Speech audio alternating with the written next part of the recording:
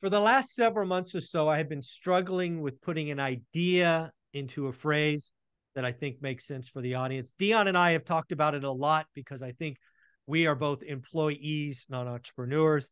And thanks to Dr. Mike, who helped me see the you know the tree through the forest or whatnot, I now have this saying, and I want to see how Dion reacts. Dion, you ready for this? I am. So what I've come to believe now is we need to start articulating to folks who have a day job that their day job, their W2, whatever you want to call it, is a key, not a prison. I think too many people wake up every day thinking, feeling that their day job is a prison, but it's really a key. How do you feel about all that? Well, there's there's kind of two ways of looking at it. The first one is the response I get often when I talk about financial freedom and I say that you can make work optional. We don't have to work until a, a retirement age. We can work until a retirement number. And I get a lot of clapback where people say, well, you can't do that without a job. It's very rare to do that without a job. There are people who just do the Christian and Cody multifamily strategy where they go out and they develop the relationships and do owner financing. And there is a way to do it, but it's it's not common, right? And, and, it, and it takes a certain skill set. So I say, of course, you have to work for a while, right? We start with that job. That's how we become bankable. It's how we get the loans. It's how we develop the credit history. And so the first part is what is for a while, right? Is it 40 hours a week for 40 years to retire on 40% of what you made? That's a while for most people. It's what most people end up with.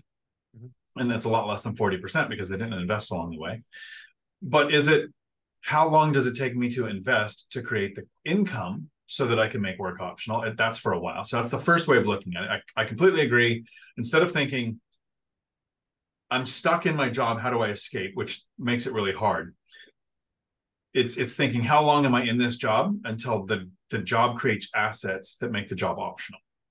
But the other way is there are people that we're never going to convince that their job isn't prison and they're stuck in a a um, very bad situation and and financial freedom sounds like winning the lottery. Like the only reason they can ever imagine not working is if they worked really hard for financial freedom. So for those people i would look at it like you are in prison. Hmm. and right now there are people in prison. I was what's called um, a uh, a drug court officer right? I had meetings with people who were released on parole to try to make sure that they were on their feet. Their their car payment was being made. The oil changes were getting done. They were showing up for work right? So not a parole officer but more of like a an influence in their life to, to see if they can be successful. And when people are in prison, they actually have choices. Uh, there's a there's a prison here in Washington where you can sit in your cell and waste your time for the whole time you're in there, or you can work for a furniture company in the prison, building furniture, creating furniture, prepping it for shipping, working in dispatch, right? Not driving the trucks, leaving the prison, but doing everything involved with that furniture company in the prison. And when you get out, instead of having four years incarcerated on your resume, you have four years working for and I won't name it, but that furniture company. You can make your time in prison productive so that when you get out, you're less likely to go back to prison. So for those people that feel trapped in their job, you're just stuck and you do view it like prison. What are you doing while you're locked up in that job to make sure that you don't have to come back? And so part of that is investing, part of that is picking a strategy that is a hedge against inflation, that plans for inflations, that is diversified to protect the wealth once you had it. And so I agree with it shouldn't feel like a prison for the people that can have that mindset. But I, I think kind of like the housing crash bros, there's going to be people we just can't con- not convince, but um, change the way that they think, right? So then we go, okay, well, so even if you expect a crash to come, my actions don't change. I still hunt for great deals every day. So if you feel like you're trapped in, in, in your job as a prison, at least be productive while you're trapped there. It's just it. I think I think I don't know what it is yet it just hit me yesterday, right? We talked at I don't know what it was, eight o'clock yesterday. It hit me by two o'clock when I was thinking about it. I, there's something here, and and again, I, I, we've been doing this together almost five years, right? We've, we've been doing this. Your job is the hardest one of all, is to take people from the parking lot and get them into the stadium. Once they're there, it's a relatively simple process.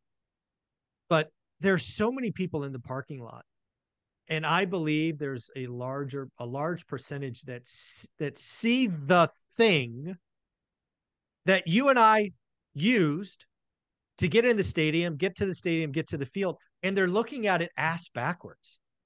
That is that hit me really hard yesterday. I don't I don't know where this goes. I don't know if I change my mind in a month as I kick this around more and more.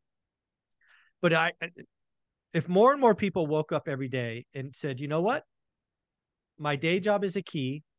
I need to use this key for 10 years because I the, the deck it takes a decade. But every day you chip away with that, you're a day closer to it. Like you've always told me, right? You're going to be alive in 10 years, invest like it. So why do we act like it? Um, I just talked to Millennial Mike over the weekend, and it looks like he may beat you to financial freedom, right? You you ran it up in eight years. He might he might do it in seven. And let's just be honest, he is younger than both of us. So to get to financial freedom at his age and to have a couple of decades, I mean, it's right there for you. And again, the, these aren't high paying jobs. You just got to watch watch your spending, create more disposable income, become elite, do these things, and just let the momentum build, man. Your job is the key to everything you want. Stop acting like it's an anchor so I'm glad you brought up Millennial Mike because I, I first I'm super excited about him reaching milestones and hitting, you know, hit the million dollar net worth and this financial freedom. He's right on the cusp of that. And so the biggest decision I think he's got left is what is financial freedom, right? Mm-hmm. How what how what type of life does he want to live once he's not working in law enforcement? So that'll kind of determine when that happens. But Casey from Brick by Brick Wealth and me talked about this while you were gone. Is Millennial Mike started making his videos right years ago right started before he invested he said look i don't have anything right now. I'm going to show you the timeline of investing.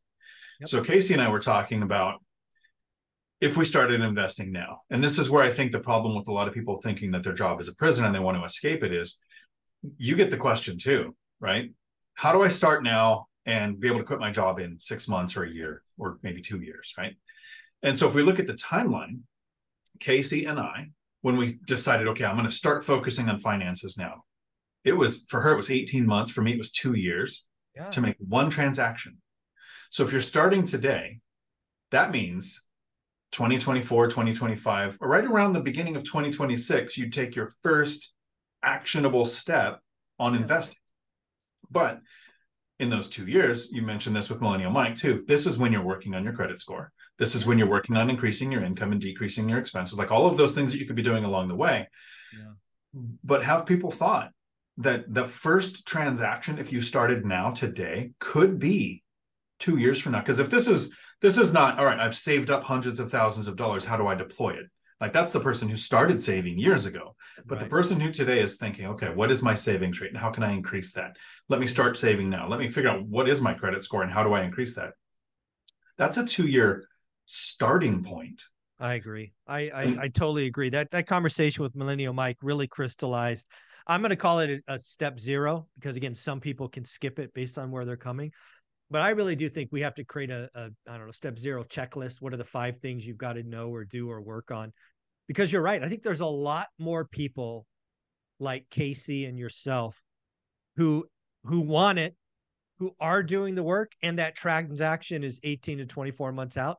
But we have to celebrate the journey and celebrate the you know the check marks then there are some people that come into this like myself who had 40 grand. It's like, okay, I've got the other things. Let's go, let's, you know, get the buy box, all this stuff. So definitely was self bias when I created the one, two, three. Um, so I think we have to work on step zero. Uh, it's it's obvious to me now. I don't know why it took so long. I don't know. Sometimes it does.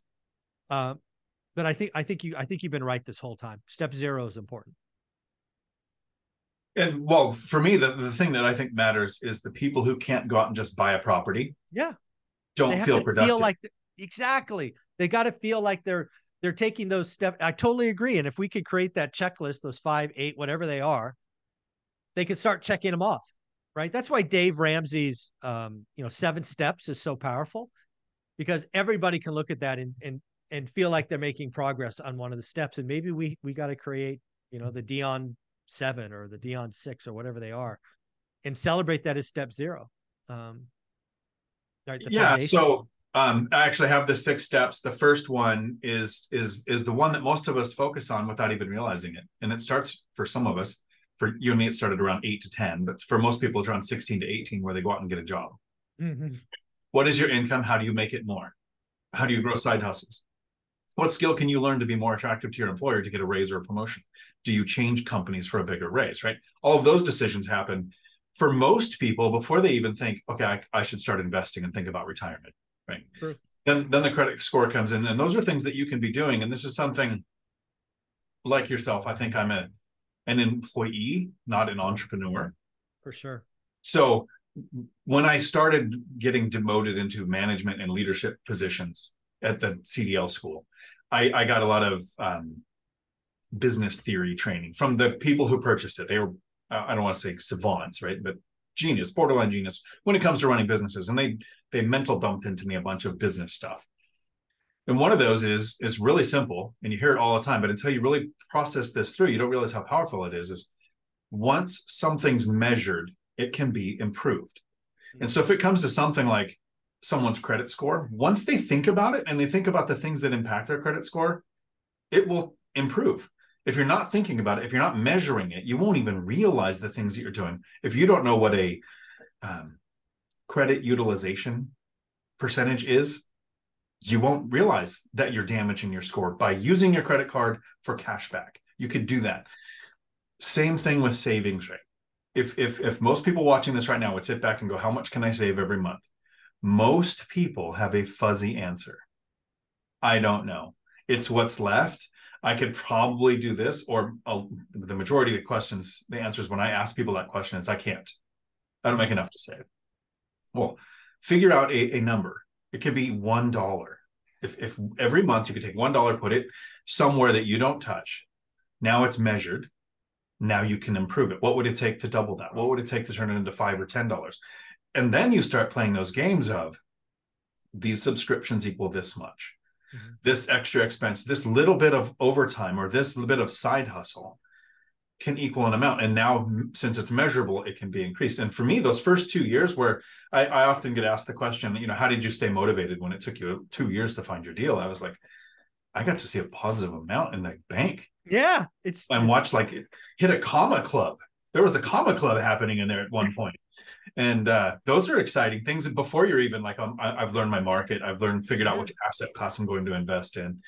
And uh, those are the things in, in line with this video that can make your job yeah. the path to reaching financial freedom. I, I agree with you that for a lot of people and dare i say probably most people step zero is going to be leaning on the job. And maybe it's like you said early on it's like how can i get more out of my job right? A bonus a you know, trade jobs, or whatever it is, but also, you know, the credit. It's just all of those things that I maybe glossed over.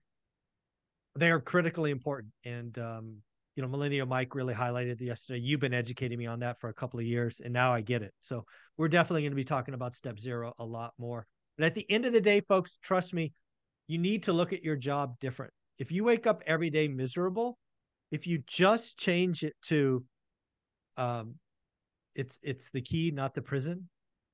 You're going to feel better. You've got to believe it. You got to work at it. You've got to make those positive steps, but it's right there for you. Mm-hmm. And if it truly is a prison to you, it's a you know quit, go do something else. I mean, if it's really that bad. Um, any kind of closing thoughts on this? Well, I mean, I do like the phrase "you're going to be alive in five or ten years. You should start investing like it." But if you're going to be alive in five or 10 years, do you want to still be in the prison complaining about it? Yeah, exactly. or do you want to see the For, progress? 40 years is a long time. Yeah. it's a long time to be in prison. And then you get out on parole and you got 40%. No thanks. Yeah. Yeah. If you, one way or other, you're in prison. You either you work to get out in 10 years or um, you, you do it for 40 years. So Dion, where can people find you? Right here on YouTube, Dion Talk Financial Freedom, where I do my live streams every Tuesday at 4 p.m. Pacific. Thank you so much.